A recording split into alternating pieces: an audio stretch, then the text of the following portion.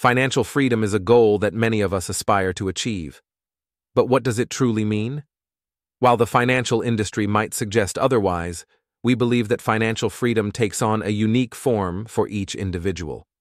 The approach you choose to attain financial freedom depends on your personality, lifestyle, cultural background, as well as your short and long term financial objectives. Can money buy you freedom?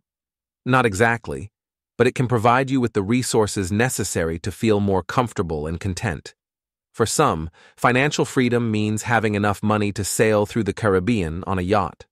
For others, it's the ability to afford life's comforts or simply having the financial means to indulge in the activities we truly enjoy. Financial freedom is having sufficient residual income to comfortably cover your living expenses. It's not necessarily about amassing great wealth or having piles of money, but rather having enough to meet your financial obligations, allowing you to invest your valuable time in activities you enjoy, rather than pursuing tasks solely for the purpose of earning money.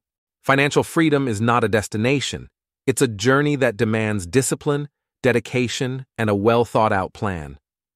Picture a life where you wield total control over your finances, enabling you to pursue your dreams and passions. This ideal is attainable through the notion of financial freedom. By managing your finances wisely and making astute financial choices, you can realize a life marked by genuine freedom and flexibility. To achieve financial freedom, you need to eliminate your consumer debts, establish a safety net of savings, and generate sufficient passive income through investments or business ownership to cover your current and anticipated future living expenses. Many of us grapple with mounting debt, financial emergencies, extravagant consumer spending, and various obstacles that hinder us from attaining our most significant financial goals. These challenges are universal, but the 12 habits outlined below can guide you towards a more financially secure future.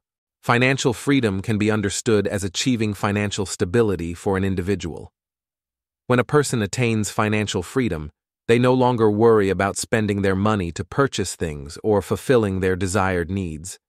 In essence, financial freedom is a state in which a person has accumulated ample savings and investments, is free from debt, and possesses enough funds to maintain their desired lifestyle for an extended period. You won't make progress if you don't have a financial plan in place. Otherwise, you'll frequently find yourself perplexed about the whereabouts of your money at the close of each month. That's not a path to financial independence, it's a recipe for financial disaster.